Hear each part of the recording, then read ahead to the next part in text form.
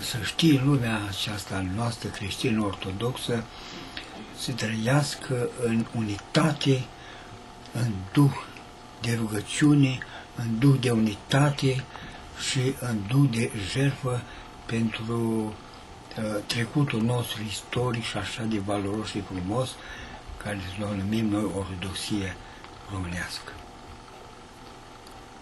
Și despre dori... neamul ăsta, cum, cum simțiți? Ce îi se întâmplă neamului? Suntem într-o stare, uh, am putea spune, destul de anevoioasă din punct de vedere al convingerilor noastre de neam și de țară. Fiii noștri răspândesc în toată lumea, părăsind în sfârșit locul așa de bogate și frumoase, rămânând în sfârșit în mâinile străinilor uh, asiatici și occidentali care vin cu toate influențele negative din punctul de vedere spiritual și creștin.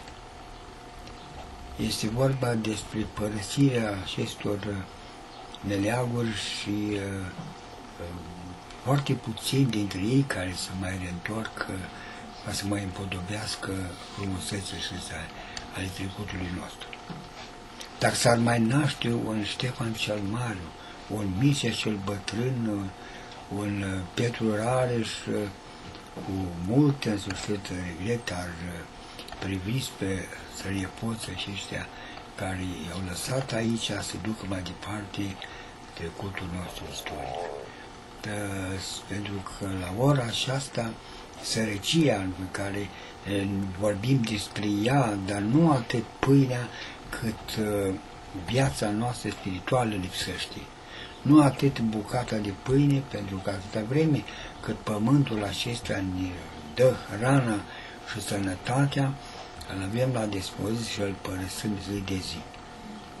Oare dacă Ștefan cel Mare ar fi avut uh, asemenea moldoveni, n-am mai existat noi cu aceste bogății și frumuseți pe care le răbnesc străine, cu toate așezămintele, mormintele acestea frumoase ale Voronetului, Putna, uh, Moldovița și toate frumusețile acestea, care ne împodobesc tot trecutul nostru.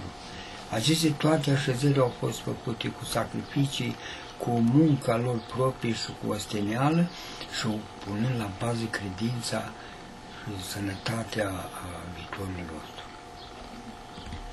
Acum, în lumea aceasta noastră a tineretului, care este atât de dezorientat și, și descompus, încât nu mai interesează decât dolarul, jumătate din lumea asta se închină dolarul, se închină antichristului și părăsind pe Hristos.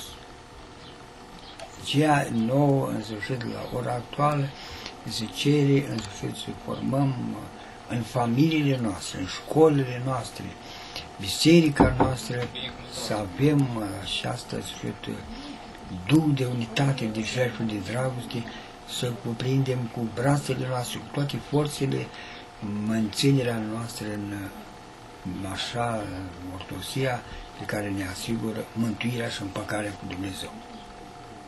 Aceste vremuri pe care le trăim noi sunt niște vremuri de prefacere, în același timp folosindu-le la scara cuvenită, ne pregătim mântuirea și veșnicia, împăcând cu tot trecutul nostru istoric, și această biserică și mănăstirii pe care am uh, așezat aici în locul acesta atât de frumos și plăcut, uh, ca să fie o mărturie și o mulțumire pentru cei care au murit din 1948 și vin în prezent, uh, vorbind despre altarele acestea ale Aiudului Pitești, Gherla, Canal, Mine și așa mai departe, în cinstea lor, ca mâine mă voi întâlni cu dânsi dincolo, să le aducă în sfârșit ca o recunoștință pentru jertfile lor.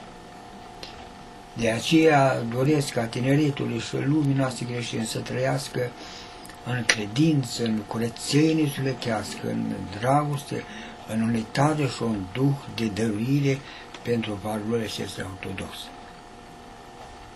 Dumnezeu să binecuvinteze neamul nostru și să-l ducă pe culmele frumusețe și al așa mântuirii și a dragostei împăcării cu Dumnezeu.